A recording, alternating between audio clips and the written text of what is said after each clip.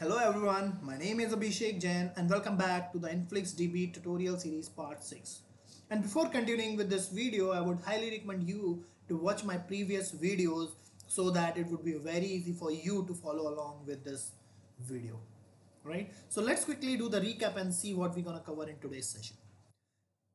So in the previous video, we covered how we can store the CSV data into the InfluxDB by using the Python library known as the pandas with and the InfluxDB Python API client. In today's video, we're gonna cover a very interesting topic and a most frequently used topic uh, for any database. So we're gonna cover how we can take the backup and how we can restore that backup, right? So in real-time scenario, there can be n number of reasons for which you have to take the backup and you have to restore it, right? So we're gonna see that. So from the prerequisite perspective, your InfluxDB server and your Influx client has to be up and running, right? So let's quickly run this DB InfluxDB server. I'm hoping it should not be throwing any error. Okay, that's fine. Now let's quickly run the InfluxDB client. Okay, so let's quickly see what all databases we have. So we have bunch of databases. So what I'm gonna do is uh, this first DB. Okay, let's quickly see what do we have in this. So in first DB, I didn't get into that first DB. So let me get into that. Now we can see how many tables do we have in this. And we know that by now we refer table as a measurement. So we have web servers and temperature. These are the two tables which we have, right? And we can quickly check how many records we have in each table. What I'm gonna do is I'm just gonna delete this DB. So we have 288 records. And similarly, if I just check in temperature table, we have 50 records, right? What we're gonna do is we're gonna take a backup of this first DB database, then I'm gonna drop this DB, then I'm gonna restore it, right? So how we can do that with in the InfluxDB? So InfluxDB provides few of the commands which we can utilize. For utilizing those commands, we have to get into the command prompt, right? So to see what all InfluxDB, what all command InfluxDB provide to us,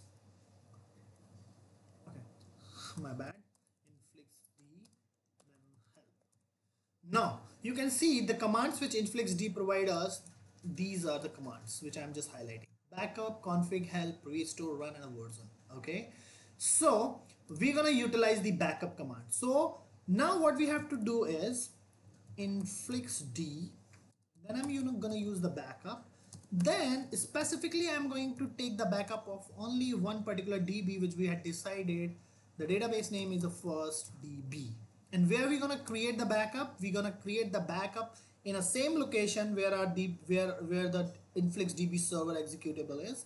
But I'm just getting inside in that location and I'm just creating another folder backup. And this particular folder is not yet there, right? You can see on my screen. Right? The moment I'll just hit this command, it will create that backup and it will create bunch of files that we're gonna discuss. Just see first what it does is it's taking a backup. If you will see here backing up backing up a meta store inside the backup with the name of meta.0 so this is the metadata of your database which contains all the supportive information like user information and the structure and all this stuff. Then you can see the backing up of first db and here the important part is backing up of first db rp equal to autogen shard 7 this is what the main important part because if you want to just restore the very selective part through shard you can do that right? We're gonna see in the upcoming videos not in this video because there is a lot of stuff which is uh, related to the backup and restore but in this video i'm just gonna cover the very basic stuff right? Now we have taken a backup. The next thing which we're gonna see is we're gonna see what all what all files are getting created by this particular command. You can see we have this meta.0 which contains the metadata then we have this particular file which actually contains the data right? Now the next thing which we gonna do is we just gonna drop a database which is nothing but a first DB right? Let's quickly see what all databases do we have. Here you can see the first DB has gone. So we have deleted that and you cannot see the first DB here.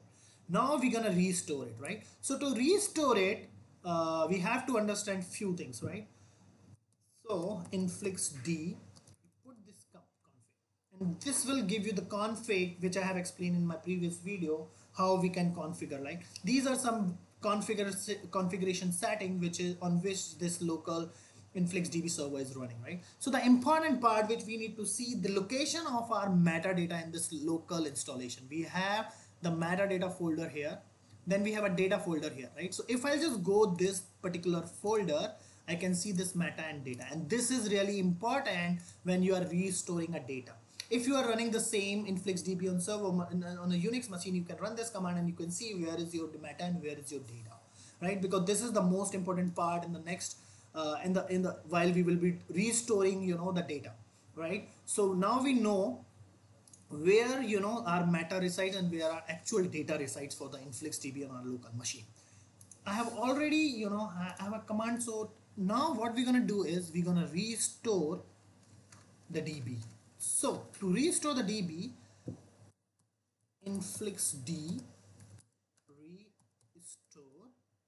then we have to give the database name that is first db then I have to give the location of my meta directory that I have already copied right?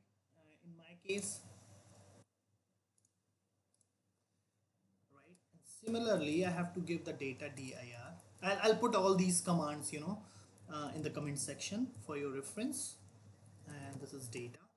Then I have to give the location of my meta file and the actual file right? So this is where you know my meta and the actual uh, actual file which has the actual data is, is stored right? So let me just run it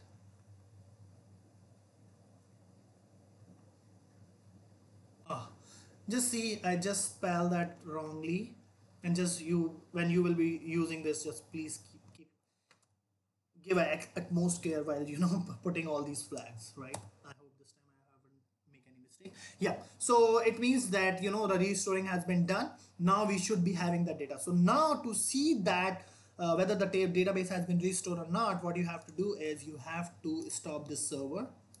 Okay let me just close this client as well just for the now again i'm just gonna restart this right? Let me just quickly run the influx client and see whether we got the database back or not. Here you can see now we have the first db again. Let's get into this first db and see what all tables do we have in this did I spell anything wrong yep spelling is good wrong sorry my bad I use that in the word uh, so now we have the tables uh, web servers and the temperature let's quickly verify the count I think after that we are done uh, from the demo perspective. Yep, we have the correct number of records restored back in temperature. Yes, we have correctly restored the data. So from uh, from this video, I mean that's it from my side from the agenda perspective. And thanks for watching this and thanks for all support. And if you really like these videos and you want me to come up with a new topic, uh, if you want me to cover any new topic, uh, uh, in InfluxDB or any other DevOps tool or any other new technology, please feel free to put that in a comment section.